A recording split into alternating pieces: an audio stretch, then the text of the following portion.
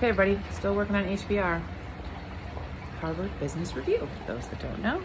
Okay, if you're a new leader, yeah, that's that's going to be your, one of your great resources. It's just all the new information coming through HBR, but this is one of those books that's a classic. Um, it's the 10, you know, best must-reads from HBR. Okay, so we're breaking down ideal performance from the focus of somebody that used to train Olympic athletes and then started training corporate people and noticed there's a disconnect. They were only thinking neck up. Um, they had to think about the whole unit of the body. Yeah. So they they talked about physical performance as a way to build your leadership performance, emotional capacity, uh, ways to build that, that, cognitive capacity, ways to build that, and then how do you build your spiritual performance, which is interesting to think about because that's not maybe something that a lot of leaders think about is your spiritual performance. What does that even mean? So what they what they're referring to in this article, and um, I'll get the names again for you. It's Let's and no Loehr and Schwartz. Loehr and Schwartz. Um, okay, so this is talking about uh, spiritual performance of leaders. And what they're referring to there is the deep values or strong sense of purpose. Do you have that as a leader? Does your, do your do your team members have that? Do we build that into our team members? I mean, how do we do that? So they're talking about the sustenance um, that can happen when we know exactly like what's important to us, why we do something, um, and then you know our deep meaning of like what what does our work mean? What's the difference that we can make in the world with our work?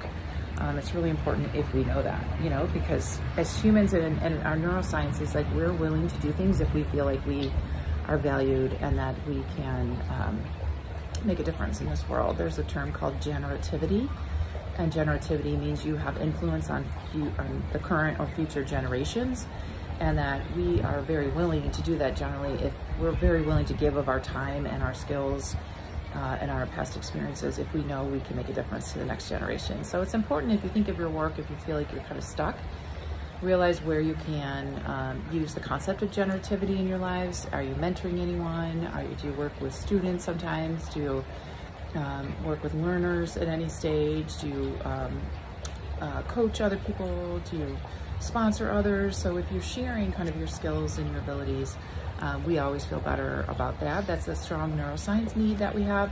So, so excuse me, sometimes when we don't have that, we feel stuck, like we don't feel satisfied, like something's missing. Um, and that's a part of our brain. Uh, Simon Sinek talks a lot about this, that there's a nonverbal part of our brain. That's our why. You must know your why. Why do you do things? But that's our deep sense of purpose. So back to this article, they said, you know, the spirit, the spiritual or the values and our sense of purpose um, will increase our motivation. So for me, equity is really important. So I'm really willing to put a lot of time and energy into things if I'm improving equity in any way, including gender, race, etc. Um, so it increases our motivation, increases our focus if we're really important to it. We're, we're willing to work hard on it. It increases our determination and our resiliency. Um, they call it value-based adaptation, where you connect impact to a deeper purpose. So if your team seems like they're just not grabbing onto this project, if you can remind them of the deeper purpose of the project, hopefully there is one, um, that you can link them to, you know, you're gonna get more motivation, focus, determination, resiliency towards that project, right? Um, so what does it take to get there? Sometimes it takes a little reflection time.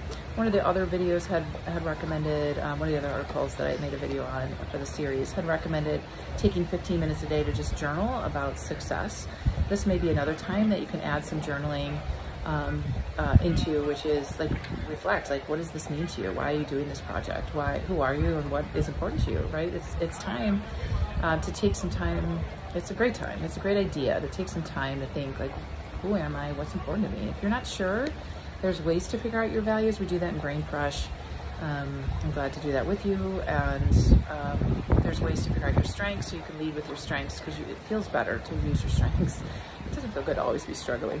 And then they again talk about rituals. So why do we put rituals throughout our day or in our lives? They're time to kind of pause and and to honor what's important to us. So it's a time they say to pause and look inside um, what could that look like? You could meditate, you could journal, you could pray, you could give service. Um, these are all tools that that ritual of recovery. So if all day long you're focused, focused, focused, getting things done, you need to take also take some time for renewal. And so those are some suggestions of the rituals that you could take, and they call them recovery tools: meditation, journal, prayer, service.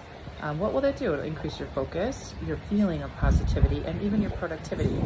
So isn't that interesting? In order to be more productive, you have to rest more often. Life is funny, huh? Okay, so this week, so, so tell me which one you might choose. Are you going to choose meditation, journal, prayer, service? Are you going to take some journaling time to figure out like what is important to you? Do you want some help figuring out your values? Because I, you know, some people just have never done that, and it's really nice to see them written down. They're your line in the sand, like what's really important to you. You're not going to cross that. Um, and we're all different. We all have our own, and even our strengths. We all have our own.